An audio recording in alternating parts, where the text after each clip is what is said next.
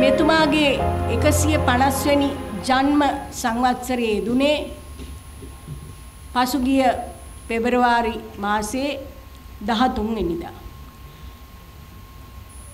ඒ කාරණා කාරණේ මුල් කරගෙන අපි කල්පනා කළා ශබ්දකෝෂ සම්පාදන ආයතනයේ කතුරු මණ්ඩලේ කල්පනා කළා එතුමන්ගේ මේ සේවාව ඇගේන ග්‍රන්ථයක් එලි දක්වමු කියලා. ඒ අනුව අපි සකස් කළා එතුමාගේ ඒ උතුම් ජීවිතය විස්තර කෙරෙන ග්‍රන්ථයක්. දැනට 91 වසරකට පෙර අද වගේ දවසක තමයි එතුමා ශබ්දකෝෂය ආරම්භ කළේ. පසුගිය සත වර්ෂයට පසුගිය සත වර්ෂයේ මුල් කාලයේ පටන්ම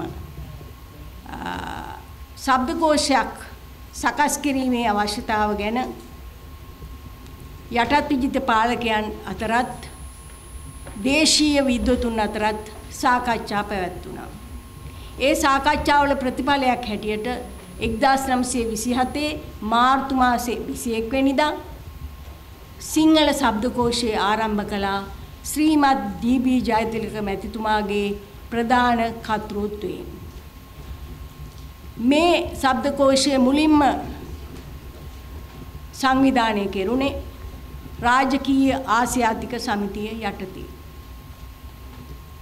ශ්‍රීමත් ඩී.බී. ජයතිලක මැතිතුමාට උපදේශක කටයුතු කළේ විල්හෙල්ම් ගයිගර් නම් ජර්මන් ජාතික පඬිවරයා. එතුමාගේ උපදේශකත්වයෙන් තමයි මේ ශබ්දකෝෂය ආරම්භ කළේ.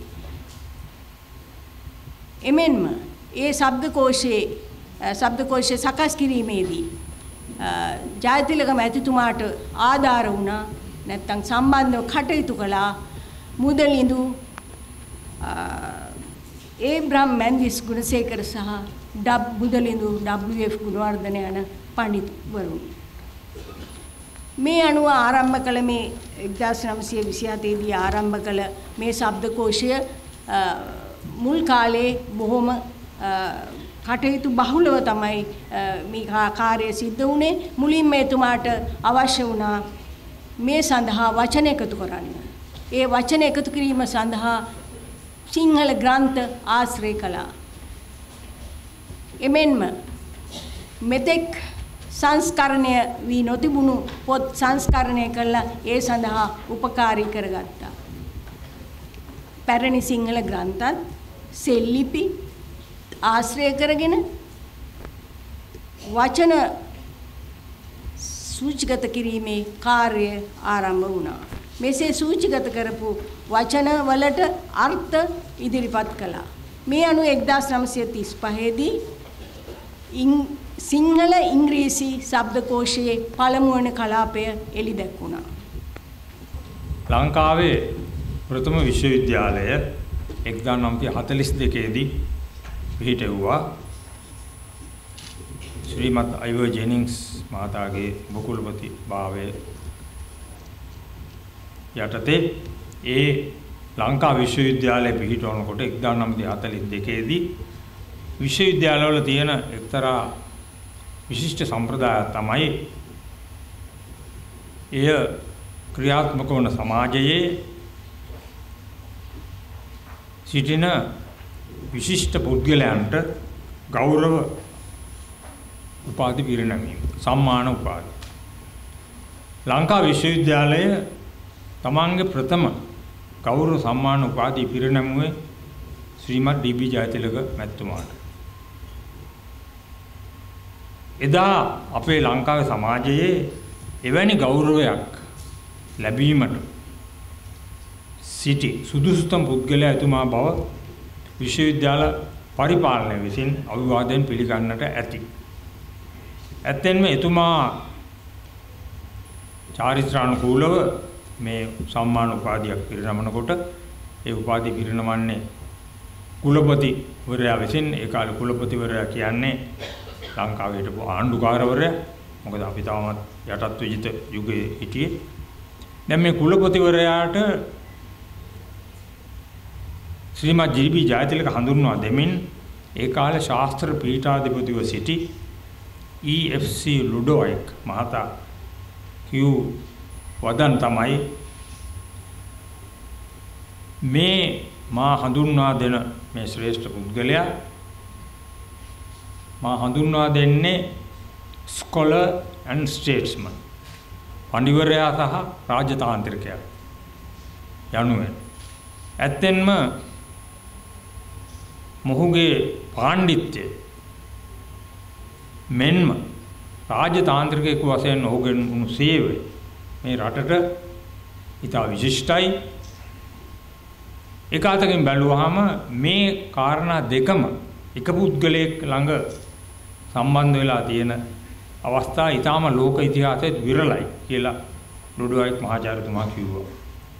ඒ කියන්නේ ශ්‍රීමත් ඩී.බී. ජයතිලක ලංකාවේ ව්‍යවස්ථාදායක සභාවට පත් වෙන්නේ 1924 ඒ කාලේ අපේ රටේ තිබුණ මේ ව්‍යවස්ථාදායකේ අද පාර්ලිමේන්තුව වාගේ ඊළඟට 1931 දී ඒ ව්‍යවස්ථාදායකය වෙනුවට අපේ රාජ්‍ය මන්ත්‍රණ සභාව ආරම්භ වුණා.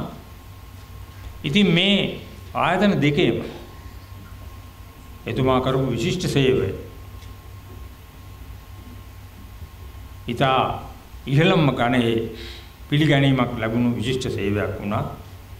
ඉතින් මේ ස්කොලර් ඇන්ඩ් ස්ටේට්ස්මන් කියන මේ කාරණා දෙකටම එක හා සමාන සුසුකම් ලැබපු මේ පුද්ගලයා අපේ විශ්වවිද්‍යාලය විසින් ගෞරව සම්මාන උපාධියක් දීමට මා යෝජනා කරනවා කියලා ඒ ඒ වෙලාවේ ශාස්ත්‍ර පීඨාධිපතිතුමා කිව්වා.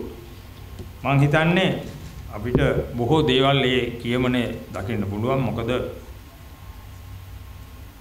ස්කොලර්ස් තා ස්ටේට්ස්මන් කියන මේ පඬිවරු සහ රාජතාන්ත්‍රිකයෝ විරල කාලයක අපි ඉන්න මෙවැනි පුද්ගලයක් ගැන අද වුණත් අපිට ස්මරණය කරන්න ලැබීම මං හිතන්නේ එක්තරා අතකින් අපිට වාග්යක් මොකද අඩු ගානේ ඉස්සර කාලෙවත් අපේ රටේ එවැනි අය හිටියයි කියන ඒ පණිවිඩය මං හිතන්නේ අපි සමාජයට දෙන්න ඕන.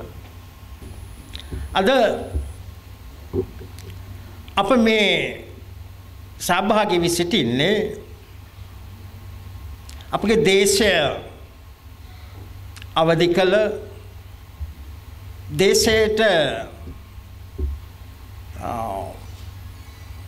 සම්පත් විශාල ප්‍රමාණයක් දායාද කළ කීර්තිමත් යුග පුරුෂයෙකු ස්මරණය කරන අවස්ථාව.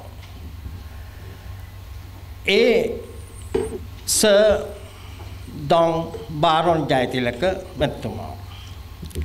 මෙතුමා ගැන අප ඉගෙන ගත්තේ තාම කුඩා කාලේ මට අවුරුදු 5ක් විතර ඇති අපේ පියා නිතරම කවි කියවනවා. ඒ කවි කියවන අවස්ථාවකදී අපේ සිත් ඇදී ගියා එක් කවියකට මම එය පොඩ්ඩක් මතක් කරන්නම් ඔබගේ මතකයට නැගී. ඒක තිබුණා පද්‍ය රචනා සහ ළමා කව් කලම කියලා අපි පාසල් යන කාලේ අපිට මඩා අති ජ්‍යෙෂ්ඨ අයත් මේවා මම හිතන්නේ අධ්‍යයනය කරන්නට ඇති ටිබෙට් ජාතික එස් මහින්ද හිම්පාණන් වහන්සේ රචනා කළා ඩී.බී. ජයතිලක පුත්‍රයා ගැන ඔහුගේ අභාවයෙන් පස්සේ පද්‍ය පන්තිය. මේ පත විපත තව මතු විපතට මුලෙක මා අත හැරගියෙන් මගේ පුතු ජයතිලක වාගත නොහැක ගත ගැවිලි ගිනි දැලක කා අත බලා සැනසෙමි මම කොයි කලෙක. ඒ කියන්නේ මේ ඩීබී ජයන්තිලක සූරීන් සමගම එතුමා හා සමකාලීන නොවුනත් මේ සිංහල ජාතික ව්‍යාපාරයට යම්කිසි ආකාරයක දායකත්වයක් දැක්වූ ටිබෙට් ජාතික මහින්ද හිමිපාණන් වහන්සේ සර් ඩී.බී. ජයතිලක යන දුටු ආකාරයේ ඒ. ඉතින් එයින් පසුව අපි හැමදාම අවුරුදු පහේ ඉන්නේ නැහැ වර්ධනය වෙලා විශ්වවිද්‍යාලය ඇවිල්ලා ඒ අධ්‍යයන කටයුතු වල නිරත වුණ කාලයේදී තමයි සඩිබේ ජයතිලක කවුද යන්න ගැන අපි හොඳින් හඳුනාගත්තේ. මිට පෙර කතා කළ මහාචාර්ය කේනෝ ධර්මදාස මහතා කිව්වා වගේ ඩීබී ජයතිලක සූරිනොත් මේ රටේ එක් අර්බුදකාරී අවස්ථාවක ජන්ම ලැබෙ ලැබූ එතුමා එක්දා සටසිය හැට හතරේ පෙබ්‍රවාරි මාසේ දහතුන් වෙනිදා. කැලනිය වරාගොන්න ජයතිලක පවුල කියන්නේ විද්‍යාලංකාර පරිවිනස්ථානයෙහි තාම සමීපදායක පවුලක් සිටිය. දොන් දානියල් ජයතිලක සේනානායක ලියනාරච්චි මහත්මානන්ටන් දොන් ඇසිලියානා වීරසිංහ සේනානායක ජයතිලක කියන මේ දම්පතීන්ට කුඩා පුත්‍රයෙක් උපන්නා. ඒ අය ඔහුට නම තිබ්බා බාරොන් කියලා. මේ බාරොන් කියන නමේ මම ඉතිහාසයේ හෙව්වා. බ්‍රිතාන්‍යයේ බාරොන් කියන්නේ බැරන්. බැරන්. බැරන් කියන නාමය ග්‍රේක් බැරෝ නැත්නම් බැරෝනියල් ග්‍රේක් එයින් තමයි බැරන් කියන ශබ්දය සෙමටික් භාෂාවේ බ්‍රතාන්‍ය භාෂා භාවිත වුණේ. A man or warrior. Sinhala අර්ථයට අපි ගතහොත් පරිණත වූ ශ්‍රේෂ්ඨ වූ නැත්නම් විශිෂ්ට වූ රණකාමියා කියන අර්ථයට අපිට වඩා සමීප විය හැකියි. එතුමා ලංකාවේ කතිකාමත් සියල්ලම එකතු කොල්ල කතිකාමත් සංගරායන් වෙන සෙල්ලිපි සහ වලින් අවසාන කීර්තිසී රාජසිංහ රජතුමාගේ සමයේ පිහිටවන ලද සංඝ කතිකාවත තෙක් සංස්කරණයක් කළා. එතුමා තරුණ බෞද්ධ සමිතියේ ක්‍රියාකාරිකයෙක් සමාජිකයෙක් ඒ පළවන නිල ප්‍රකාශනය ද බුඩිස්ට් එකට විශාල ලිපි ලේඛන සමුදායක් කියලා තියෙනවා.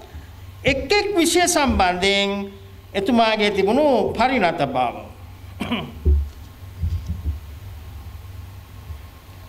Uh, Christian method of conversation එක ලිපියක්. Practical Buddhism එක. Buddhism as a world religion. ඒ ඔහු සම්පාදනය කරන ලද ලිපි වලින් තාම වාද විෂයකට බහල් වන්නා වූ කෘති බොඩිස්ට් සංග්‍රහය. එකම රාජකීය ආසියාතික සංගමය Royal Asiatic Society නිතර යාම ජීව සමාජිකයෙක් වගේ මෙහි තනතුරු දරලා තිබෙනවා. Uh, Sinhalese embassies of to Arakan එකක් ලිපියක්. තව කෘතියක් සම්පාදනය කළා සර්ලාංකර Sangharaja the last Sangharaja Sri Lanka.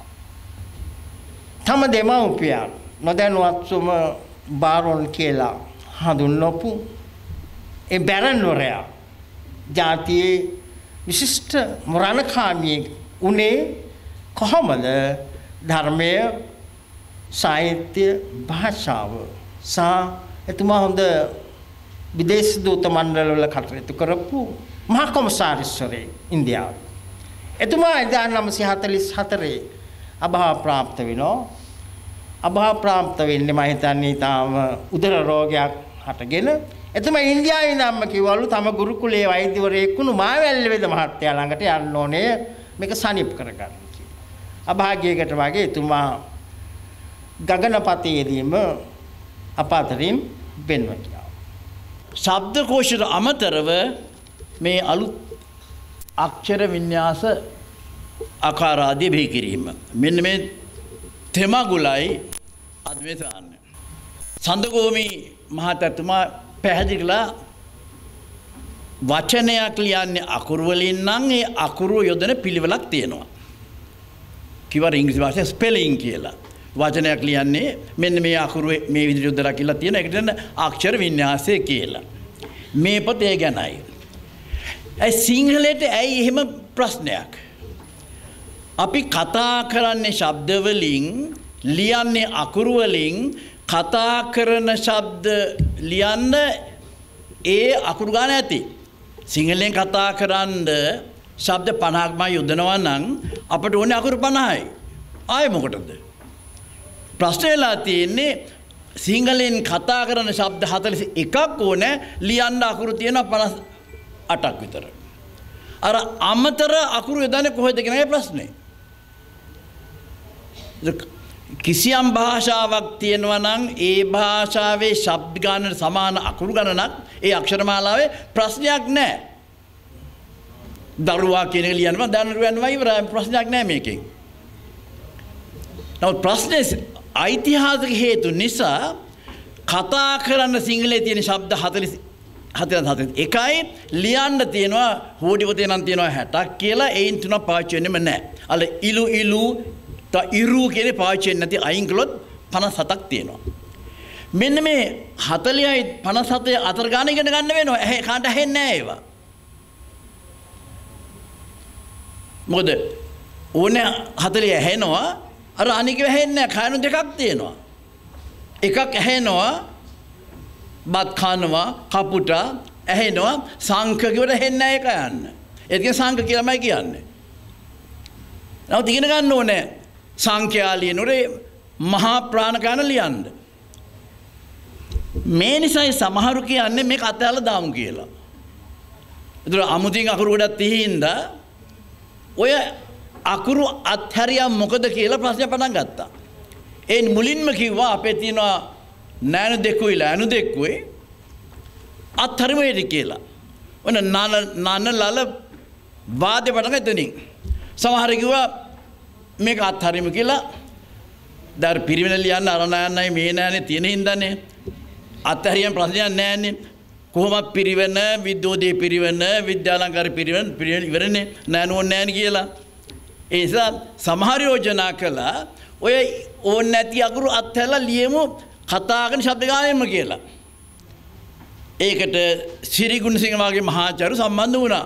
Charles ගොඩකුඹරි වගේ මම සම්බන්ධ වුණා. ඒ ඒක විදියක් මේ ප්‍රශ්නේ දන්න. අර අමතර අකුරු අත්හරින එක. කතා කර රුපියල් 50 ගැන සඳගෝමේ බැංකුවත් එහෙමයි ඉස්සර වෙන්නේ බැංකුව ඔබ නෙමෙයි. දැන් බුද්ධ බැංකුව තියන බෑන බින්දුව ඉස්සර වෙන්නේ ලංකා බැංකුව තිබුණේ ලඩ්කා බැඩ්කු මොකද එක? මං හිතේ ලඩ්කා ලංකා තමයි ඒක ඉස්සරවේ අර කලාතුරකින් නාසිකයකින්. දැන් ඒක නැත්තරම නැතිල මං හිතන්නේ. ඔයගේ සමහර අකුරු නැති වුණාට ප්‍රශ්නයක් නැහැ කියලා දිවාදයක් ගියා.